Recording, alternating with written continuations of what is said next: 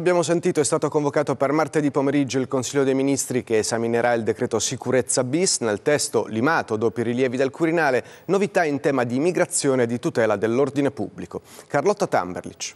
Fonti del Viminale assicurano che sono stati superati tutti gli ostacoli del testo, sui quali anche il presidente Mattarella aveva sollevato dubbi. Due le novità principali. La prima riguarda l'intervento sulle navi che transitano in acque italiane.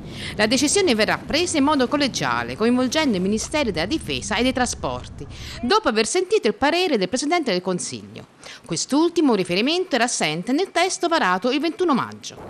L'altra modifica riguarda il soccorso ai migranti. Nel nuovo testo sparisce ogni riferimento alle sanzioni per chi soccorre, mentre sono confermate le multe alle navi che non rispettano la normativa internazionale da 10 a 50 mila euro al comandante e in caso di reiterazione del reato la confisca del natante con immediato sequestro cautelare.